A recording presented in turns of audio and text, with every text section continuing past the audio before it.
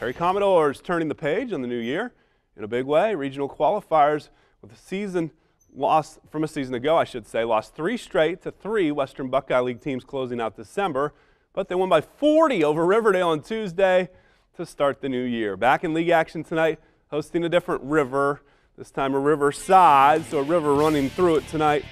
This would be Perry's night, however. Jacoby Lane Harvey recognized for his 1,000 points. Trey Hemlinger, big block there for Riverside, but Plummy Gardner keeps pounding it inside.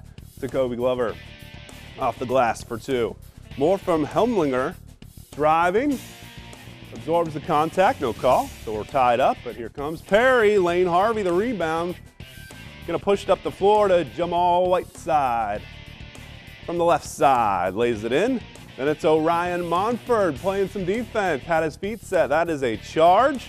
And they turn defense into offense. Lane Harvey driving on through. That could be Liefeld Welding top five drives.